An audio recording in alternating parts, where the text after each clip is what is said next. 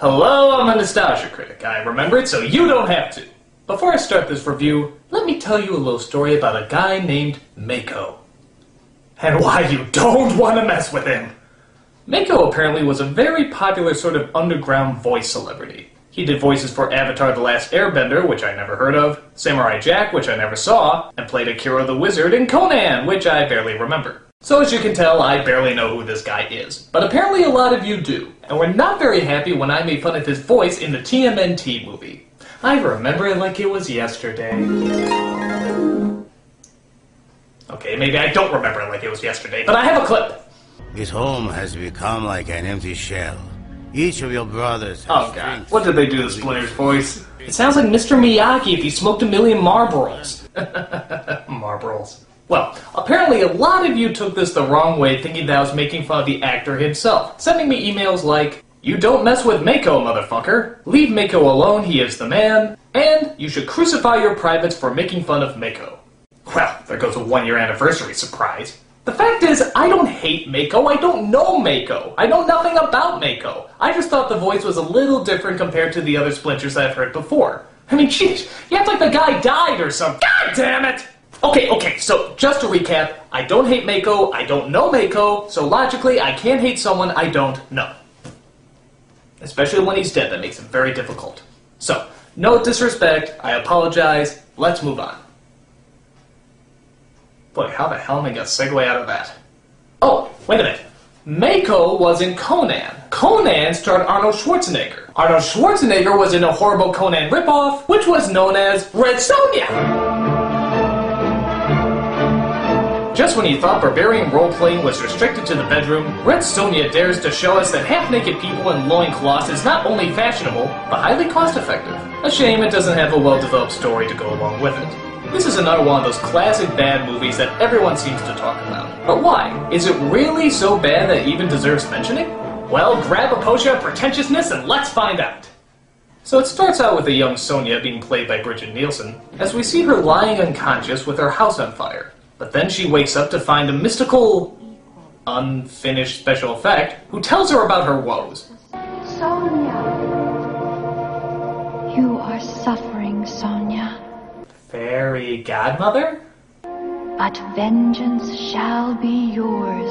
Whoa, a fairy godmother who kicks ass! Vengeance on Queen Gedren, who wanted you for herself.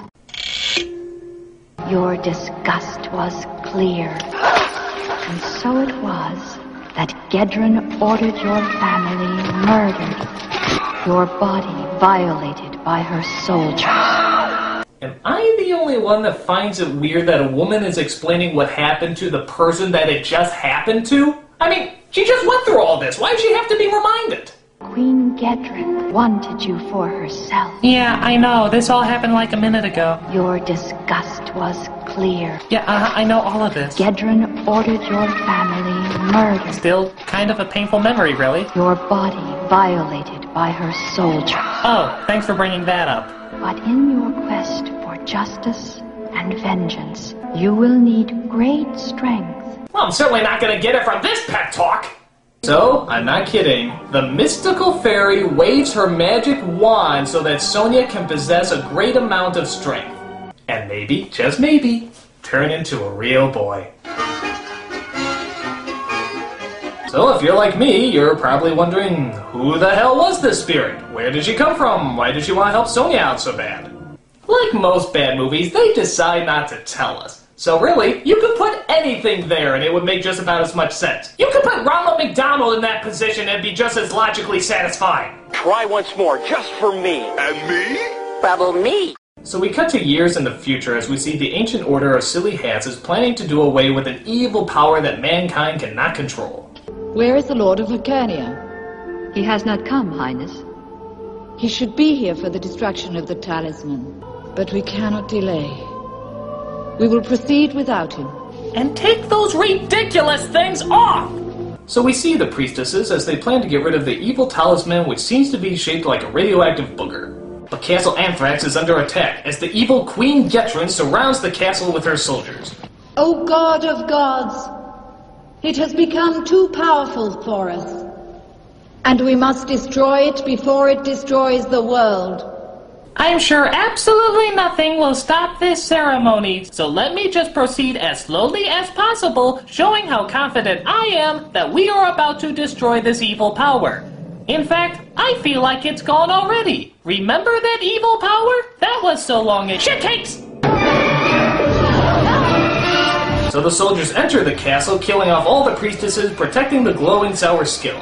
But Gedren wants to be sure she has the right mystical power of doom, so she tests it out. Touch it.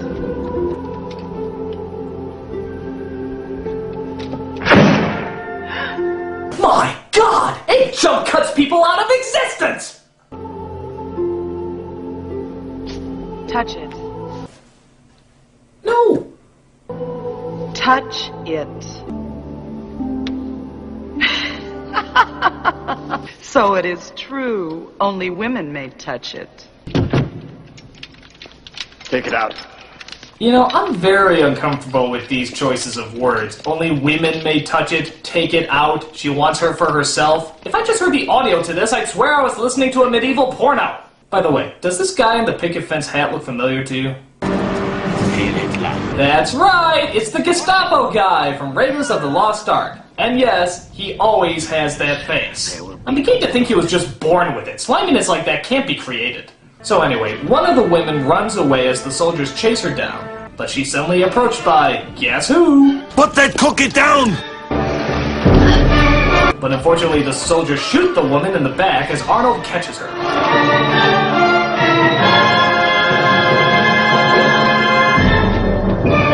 Okay, you can tone down the music, guys. He's just carrying her. It's not very exciting. Oh, well, you can bring the music back now. It's a fight scene. Hello? I. Never mind. Let's just see what She-Run has to say. Must destroy the talisman. We must find my sister. Take me. I know where she is. Please. Sorry, I totally blanked. What was that? So Arnold is told to find Red Sonja, who lives in the training grounds of. What the hell is that? You have nothing more to learn, Red Sonja. I didn't know Ewoks had geishas. I shall be your Gandalf for the evening. You must learn to like men a little better. Come on, how can you take him seriously without snickering? But in life, all is not swordplay. Yeah.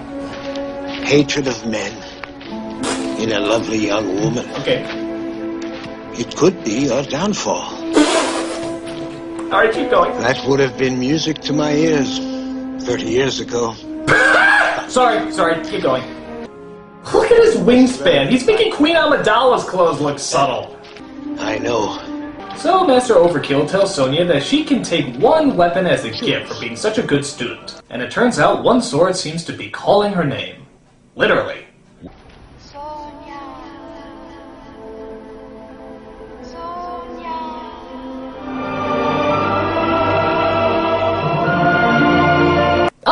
Singing sword is the ancient mythology of Bugs Bunny cartoons. So Arnold approaches the training grounds through the mystical god taking a dump, as he informs Red Sonja that her sister is dying, and that she only has moments to speak to her. You must destroy the talisman, Sonja. Send it into darkness. Swear that you will. I swear.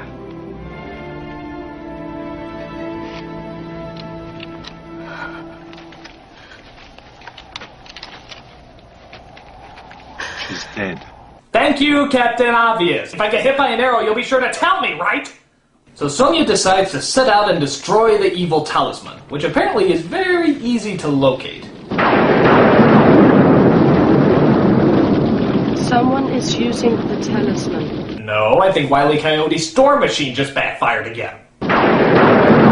Arnold tries to come along with Sonja, but she declares that she needs no man to help her out.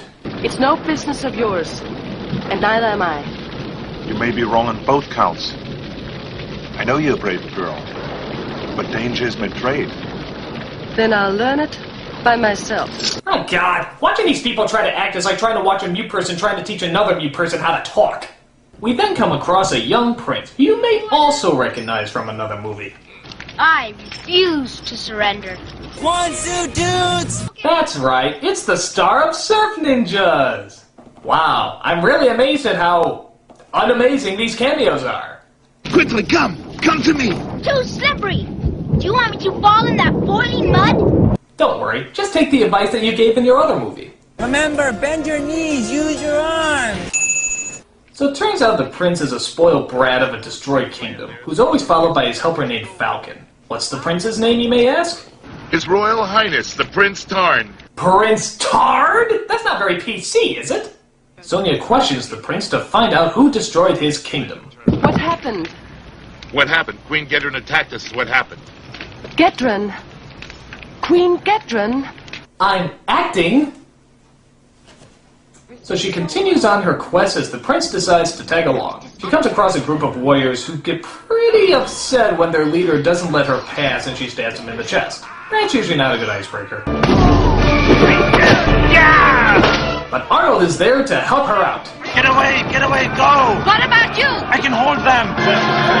ah! Help me! I cannot hold them! Meanwhile, we cut to the evil fortress of Queen Gedren, where we see her get ready to set up the talisman and use its awesome power for the forces of evil.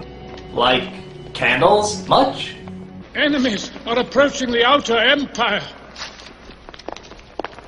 Okay. Uh huh. Walking. Still walking. Entering a room rented out from Castle Grayskull. Wow, I'm so glad they showed us the long walk to the throne. Otherwise, I never would have figured out how the hell she got there. I just assume it was magic. So she calls upon her sorcerer, who I swear is Wizzo from the Bozo Show, who asks him to show her the enemies that are coming her way.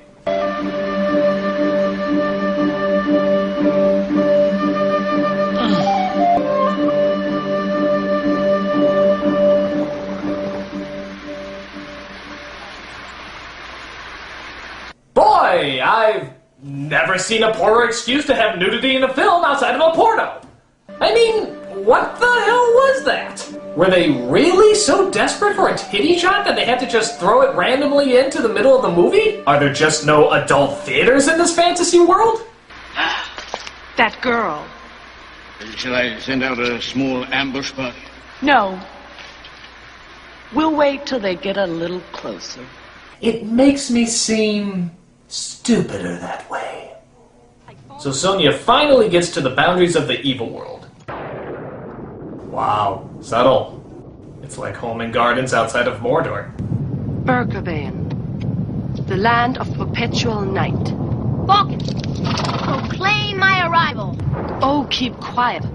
Come on, that Prince of Tards is a better actor than you, and he's only like five. So they cross the bones of a giant decomposing rhino.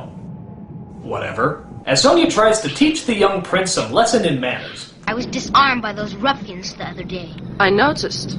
So, it needn't be fatal. I am disarmed. Kill me. Come on. Please do! Simple, isn't it? But it's not in the rule book. You see, fencing and fighting are two different things. As well as acting and looking pretty. After the prince finally asks nicely, Sonja agrees to teach him in the art of self-defense. You were disarmed because you hold the hilt too tight. Grip gently. See? Gently. I see. Like this? Your Highness learns fast. So they move on to the next level, I mean location, where they discover a monster that's lurking in the water. Oh, God, is that fake? Come on, I've seen better effects from the octopus in the Popeye movie. As Hope looks bleak against this mechanical sock puppet, we get a visit from an old familiar face. Hello! I'm still in this movie! So Arnold jumps into the water and tries to save the day.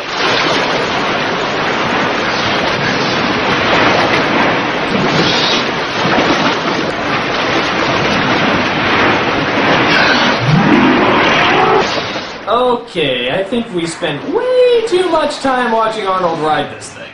I don't even think he's really fighting it. I think he's just enjoying the ride.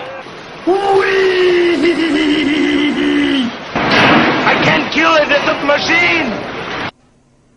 Oh yeah, because they always have robotic mechanical machines in barbaric times. Where'd they get that thing made? The old Radio Shack?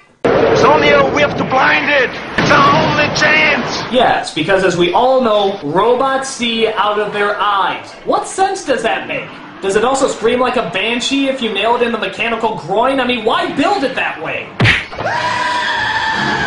So they escape the monster and continue on their quest. But Arnold's sword is extending for Sonja as we partake in a love scene which I like to call Love in the Dueling Accents.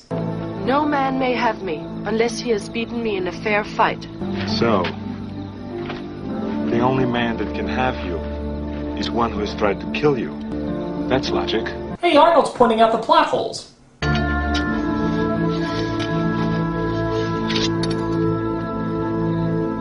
Don't be a fool. I don't want to kill you. Besides, my heart will always belong to Flava Flav. So they fight, I guess, as most couples do, as the little prince observes the commotion. What the hell did I miss?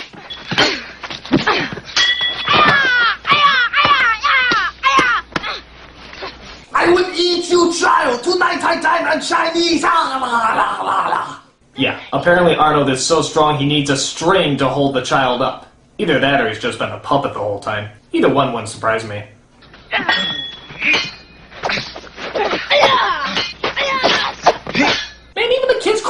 kids' choreography is better than those two. They should have made the movie about that pipsqueak. So they both tire out, lay next to a tree, and. Gedren's army. What? What happened? Did they just give up? Who won? Did they make whoopee afterwards? I mean, are they a couple now? Do they still hate each other? Okay, screw it. So they get to the evil fortress where apparently the evil talisman is held. It's only a model. They quickly have to decide who will stand guard outside in case any of them are spotted. Who stand guard this doorway? The post of danger. Falkon? Me? Here? I don't know what's coming out that door. No, no, I'm going up. I'll take my chances in there. And I have to go in.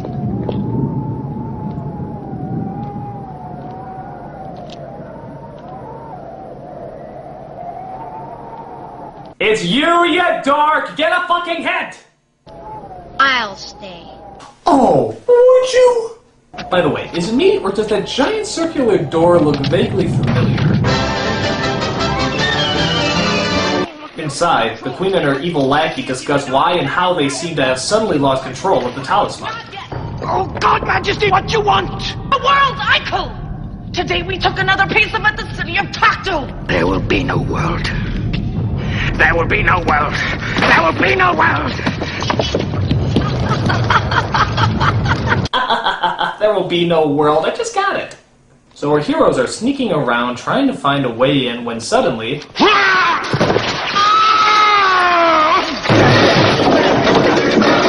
Oh hey! Someone just slid down the trapdoor from the outside and into the dining room. Why do we install that again? So our heroes fight off the soldiers as we see our young prince duke it out with Gestapo slime.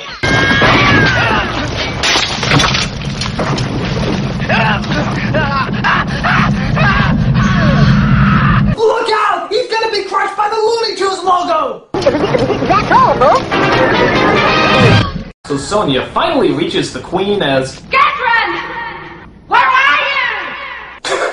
What the hell was that? Where are you? Where are you? Where are you? Are you over there? Or over there? Where are you? So the prince and Sonja meet up with the queen as Sonja tells the prince to run for cover. Prince! Get Kalidor and Falkon! Aha! There's a way behind the throne! Oh, wait, don't do that. Make him come back. I don't want to actually have to chase him. You slaughtered my parents! Like cattle! My brother! My sister! My uncle, my grandpa, my goldfish, my chia pet, my goddamn chia pet! But it turns out the queen has magic on her side. Haha! -Ha, I slipped the editor an extra 50. Now I can jump cut wherever I want. Okay, seriously, knock it off. It's not a good effect. Jeez, this woman teleports more than Ganon from The Legend of Zelda. But it turns out the wizard is also getting his strengths. Ah! Uh-oh, she spotted me. I guess I should stab her again. I guess I should stab her again. I guess I should stab her again. I guess I should stab her. Okay, what is with these morons? Do you have short-term memory loss? Now I'll never lead the Grand March. So they enter into the candle room where they have their big final battle. Huh, how strangely anticlimactic. Goodbye! Remember me as a horrible blue screen effect! And take your jawbreaker with you! So our heroes have to escape the fortress before it all comes crumbling down. I can't get through! Damn my large heaving breasts! I especially love this scene where Arnold holds up the falling rubble so that they can pass. But look after it falls. You can hopscotch over that! Quick! Run away from... nothing! So the queen is destroyed, the prince is still a brat, and our two actors can't act and they all live happily ever after. So, was this film really as bad as some people make it out to be? Reportedly, Arnold Schwarzenegger used to joke that he would torture people by showing this movie over and over and over. So, is it really that bad? Well, it's definitely bad, but certainly not the worst. In my opinion, Arnold has certainly made much worse films, so I don't really get why this one's so special. But I can't lie, it is definitely a bad movie. And when your actress playing the main character who looks like this is married to someone who looks like this, yeah, you're gonna be in deep fucking trouble. I'm a nostalgia critic, I remember it, so you don't have to.